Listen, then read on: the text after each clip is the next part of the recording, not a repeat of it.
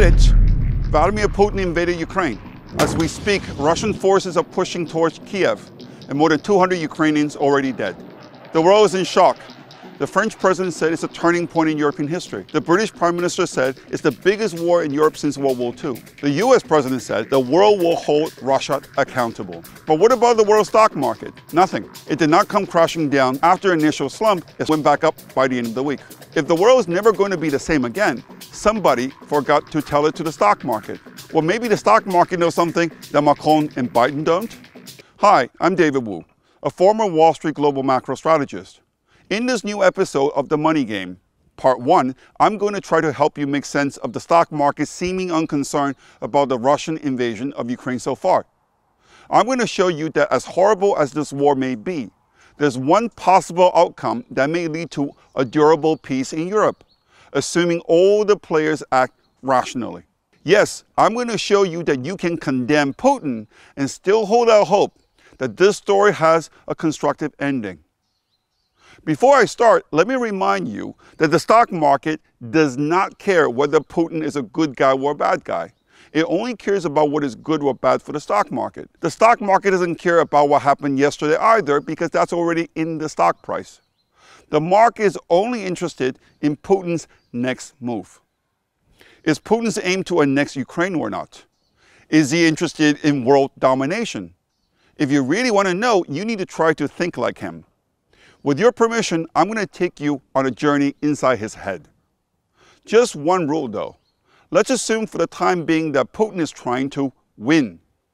Let's assume that he's rational, motivated only by his self-interest and the interests of his country.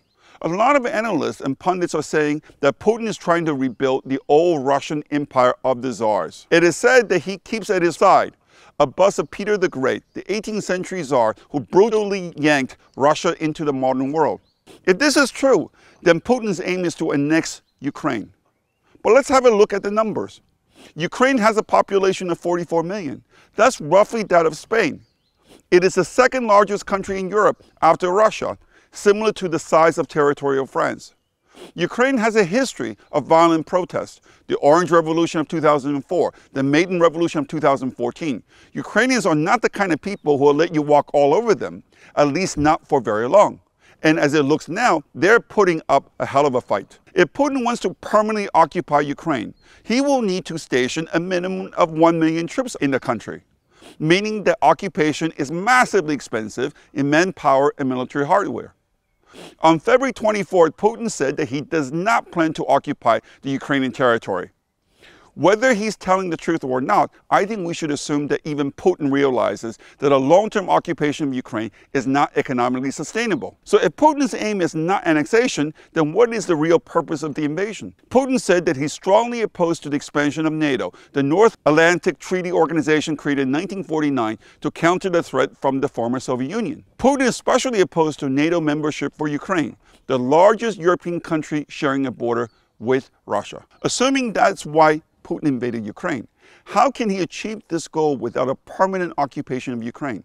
Once Putin has succeeded in obtaining the surrender of Kiev, assuming that he does, he can force the Ukrainian government to adopt neutrality in its constitution. Neutrality is exactly what Henry Kissinger proposed back in 2014. The former U.S. Secretary of State suggested that Ukraine take a posture comparable with that of Finland, that is associating with Europe politically and economically by avoiding institutional hostility towards Russia.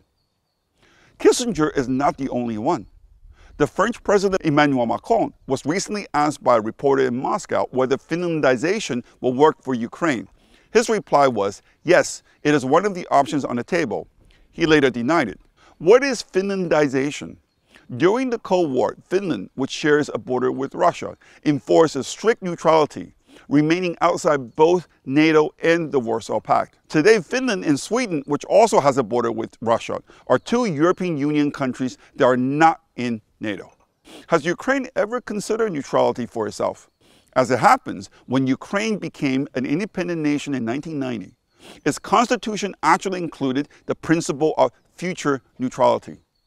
It was not until 2019 that a constitutional amendment was passed committing the country to becoming a member of NATO and the European Union. If Putin wants to ensure that Ukraine never becomes a part of NATO, he just needs to demand that the Ukrainian government reverse the amendment and make neutrality a permanent article in its constitution. He can also condition the withdrawal of his troops on the recognition of Ukraine's neutral status by the West and NATO. The West won't like it, but given that such an outcome could remove a major bone of contention between Russia and the West, I assume that the West will sign on to it in the end, albeit reluctantly. I think this is at the heart of Putin's plan. But what if the Ukrainians refuse?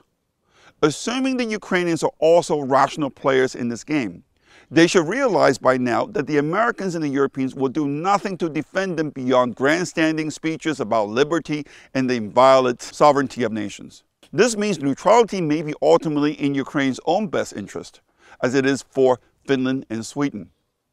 Remember what I said before, I assume that Putin is a rational player, but you might think otherwise. For example, you might say that his fears of NATO expansion are completely unjustified and are a sign of a paranoid person at best and a irrational person at worst. Why does Putin hate NATO so much? NATO has never invaded or threatened another country. However, did you know that the architect of America's Cold War containment policy happened to agree with Putin? George Kennan, a man who was known as the dean of America's Russian experts, called the expansion of NATO into Central Europe the most fateful mistake of American foreign policy in the entire post-Cold War period. Let that sink in for a moment. Kennan believed, as did many Russian experts, that expanding NATO would damage U.S. efforts to transform Russia from an enemy to a partner. Kennan was not a man who minced words. He called NATO expansion a tragic mistake that will make the founding fathers of America turn over in their graves. Developments over the past week have sadly vindicated George Kennan. I do not condone Putin's decision to invade Ukraine. But if this war ends with a neutral Ukraine, it could help build sustainable peace in the region. And one thing is certain, the stock market likes peace and stability more than uncertainty and war. I'm not saying that this is the only possible outcome from this war. What I am saying is that this is a likely outcome if all the players around the table act rationally. Of course, I don't deny that these days rationality seems to be in short supply, but there's nothing wrong with basically hoping at least.